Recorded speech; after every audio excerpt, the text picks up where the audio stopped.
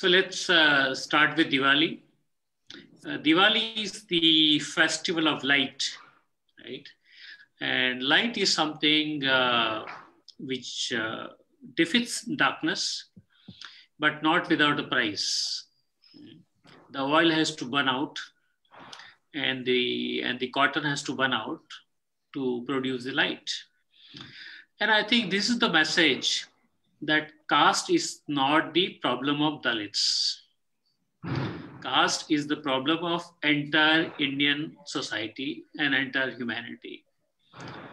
If we think that this is going to affect Dalit children, sorry, it is going to affect each and every child that is under the rule of caste.